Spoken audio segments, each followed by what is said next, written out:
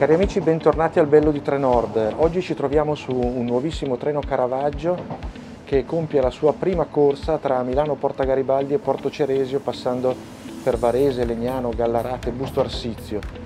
Da martedì 1 febbraio inizieremo a cambiare tutta la flotta di questa linea e sarà tutta composta da questi nuovi treni. Sostituiremo i treni Coradia Meridian che sono pur sempre molto moderni che andranno a prestare servizio in Valtellina. Questo treno è dotato di 445 posti a sedere da 12 posti per le biciclette. È un treno non solo per la giornata dei pendolari ma anche per il turismo.